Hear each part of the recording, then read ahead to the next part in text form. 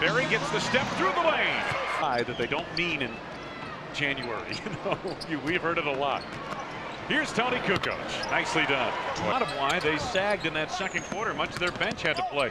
Barry, oh, nice look to Bryant. Had to help, but that's where Brent Barry's really good. He has great vision. Hornacek and got a foul coming up on Malone on the screen.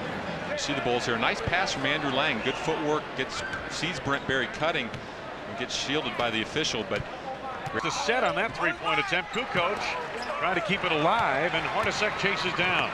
Steal by Barry. he won a slam dunk contest. What was it? It's Tony Kukoc on that end of the floor. Well, I think Tony has to be a little more patient. He rushed that possession a little bit, never got his feet set, and allowed Russell to, not, to take the ball away. Defense for the Bulls there on that trip. Barry for three, and suddenly the Bulls are back to within 10. No, Brent, because he only got one in the first first half. It's too bad he's going to have to come out of the game. Barry for three. Okay, you're going to show this?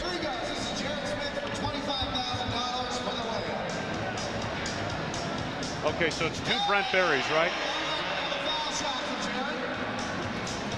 And then two, okay. Yeah, decent defensive player. Right, and I think sometimes, too, as a player, when you're kind of labeled that way. Eisley, Shandon Anderson. Oh, here's a tip by Randy Brown. The steal, Brent Barry. Barry pulls up for three. Make it two. He had a 12 to 5 in the first five minutes of this fourth quarter. Nice entry into Kukoc to the left hand. Harper, who likes to post here in this situation, he finds himself around the basket. Malone swatted it out of there. Kukoc for two. The wrong way.